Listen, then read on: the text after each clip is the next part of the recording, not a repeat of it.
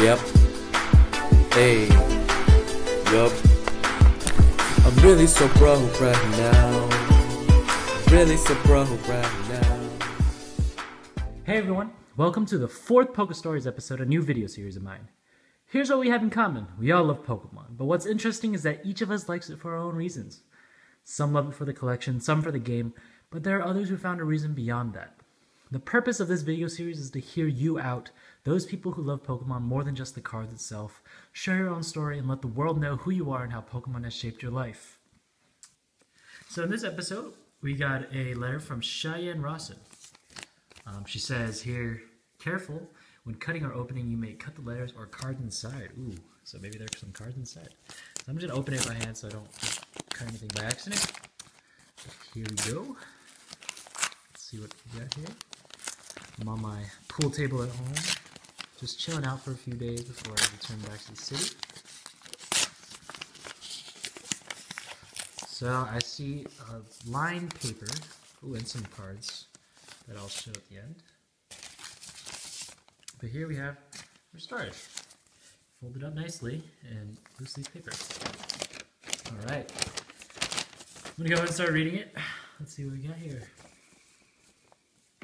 Dear So Pro, uh, So Broke, my Pokemon story starts when I was when I was four years old. I can't remember exactly how I got started with Pokemon, but I remember it had to do with the start of Pokemon Diamond, Pearl, and Platinum.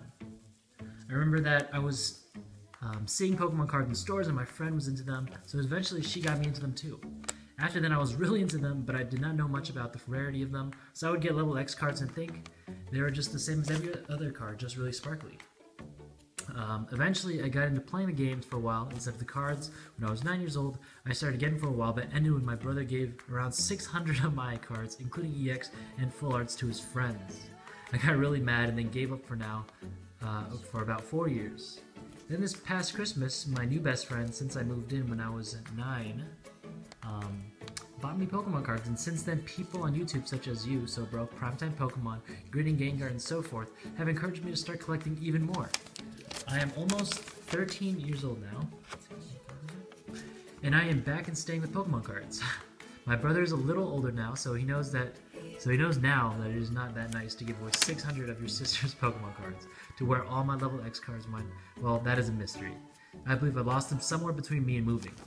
The only problem with me in collecting uh, so late in TCG is that I cannot find any of the old, um, I want to say, old generation packs, so I'm unable to collect sets before black and white sets.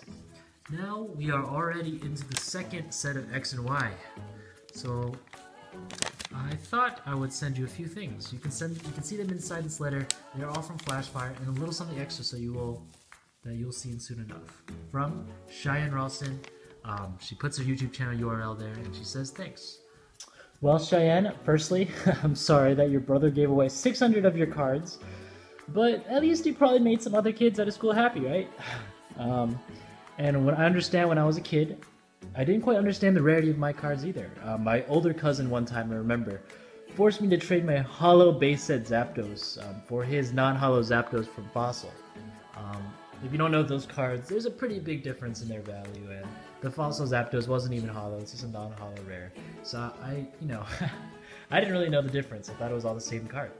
Um, but I also wanted to say that I'm glad you're back in collecting and that I could play a role in it. Um, and now that you're collecting more than ever, it only makes me happy. But anyway, I wanted to show some of the cards that you gave out, including these two online codes um, for the viewers. I'm going to go ahead and show them. Enjoy these codes. These are to Flashfire, by the way.